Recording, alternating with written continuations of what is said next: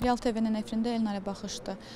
Dini qurumlarla iş üzrə Dövlət Komitəsinin və Milli Mətbuat Şurasının birgə təşkilatçılığı ilə din və media mövzusunda konfrans keçirilir. Belə ki, mətbuat günü ilə bağlı ə, Dini qurumlarla iş üzrə Dövlət Komitəsinin və Milli Mətbuat Şurası ilə birgə ə, kütləvi informasiya vasitələrinin təmsilçiləri arasında din və media mövzusunda yazı müsabiqəsi ə, elan etmişdi və hazırda tədbirdə yazı müsabiqəsinin qalibləri mükafatlandırılacaq.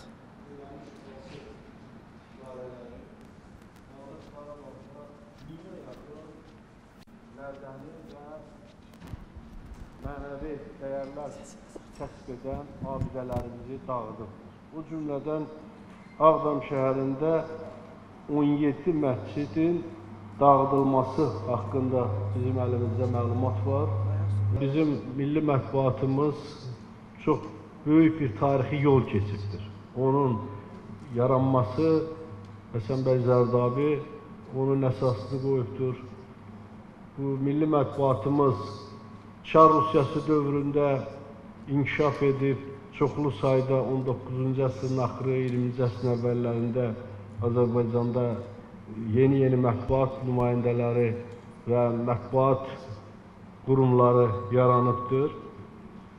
Sovetləşmə dövründə də bizim Azərbaycanda mətbuat özünə məxsus yol keçibdir. Sovet sistemi kommunist ideologiyasına söykənsə də, həmin dövrdə də bizim milli mətbuatımızın nümayəndələri xalqımıza və dövlətimizə xidmət göstəribdir. Ulu Öndər Heydər Əliyevin Azərbaycana siyasi rəhbərliyə 1969-cu ildə gəlişindən sonra bütün sahələrdə olduğu kimi milli mətbuatımızın inkişafına da hər tərəfli dəstək göstərilibdir. Xüsusilə 20-ci əsrin 70-ci illəri və 80-ci illərində Azərbaycanın milli mətbuatında milli şuurumuz, tariximiz, milli mənəvi dəyərlərimizlə bağlı yazılara çox geniş yer verilibdir ki, bu da Azərbaycanda milli şuurun oyanmasına, milli tariximizin öyrənilməsinə çox böyük köməklik göstəribdir. O cümlədən o dövrdə baxmayaraq ki, Sovet sistemində baskı var idi, təzyiq var idi. Həmin dövrdə e, dinimiz haqqında da yazılar və eyni zamanda məlumatlar mətbuatda özünə yer tapırdı. Əlbəttə, bizim dövlət müstəqillimizin bərpasından sonra mətbuatımız əsl inkişafının yeni mərhələsinə qədəm qoyur. Yəni elə bir mərhələdir ki, artıq bizim mətbuatımız üzərində hansısa bir nəzarət yoxdur və bu millətimizin, xalqımızın inkişafına xidmət göstərmək üçün çox gözəl imkanlar yaranır. Və mətbuat dedikdə biz yalnız qəzet nəzərdə tutulmur. Burada jurnallar var, o cümlədən elektron kütləvi informasiya vasitələri var. Son dövrlərdə isə sosial media meydana gəlibdir. Bu da faktiki olaraq indi həmin mətbuat qurumları kimi fəaliyyət göstərməkdədir. Ona görə də milli mətbuatımız, onun keçdiyi tarixi yol, onun bugünkü durumu, inkişafı məsələləri hər zaman diqqət mərkəzindədir və bizim milli mətbuatımızın inkişafına dövlətimiz hər zaman qayğı göstərir və prezidentimiz cənab İlham Əliyevin elə bu günlərdə, yenə də bu ildə milli mətbuatın inkişafına maddi dəstəklə bağlı sərəncamını biz gördük və həmin sərəncamla e, mətbuata e, yardımlar edilməsi ilə bağlı vəsait ayrıldı. Bütün bunlar əlbəttə mətbuata göstərilən diqqət və qayğıdır. Azərbaycanda mətbuat azadlığı tam təsbit olunubdur. Bu bizim konstitusiyamızda və qanunlarımızda da öz əksini tapıbdır və eyni zamanda Azərbaycanda milli mətbuatımızda çalışmaq üçün kadr hazırlığı da yüksək səviyyədədir.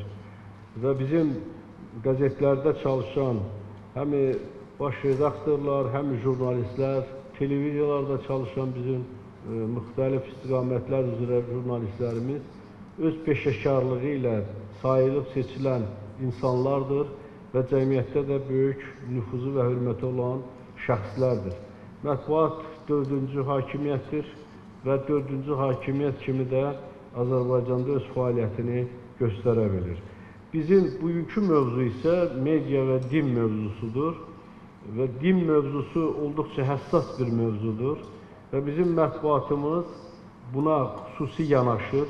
Bu baxımdan biz Azərbaycan mətbuatında dinlə bağlı yazılan mövzulara e, monitorinq keçirərək diqqət yetiririk. Ölkəmizin daxilində bu mövzuda yazan jurnalistlərin milli mənəvi dəyərlərimizin hifz olunması və dini maarifçilik istiqamətdə yazdığı yazıları biz təqdir edirik, qiymətləndiririk və yeri gəlmişkən bu istiqamətdə yazan hər bir yazara öz təşəkkürümüzü bildiririk.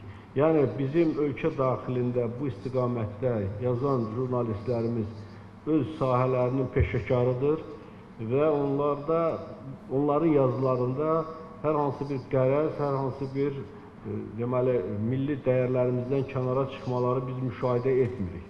Amma çox təəssüf ki, biz bunu sosial media üzərində görmürük.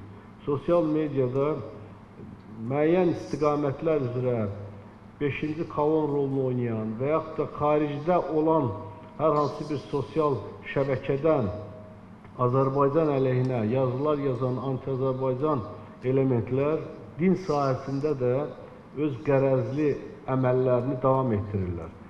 Məhz həmin qərəzli əməllərin nəticəsidir ki, bəzən həmin sosial şəbəkə üzərindən yayılan məlumatlar beynəlxalq hesabatlarda da Azərbaycan əleyhinə istifadə olunur.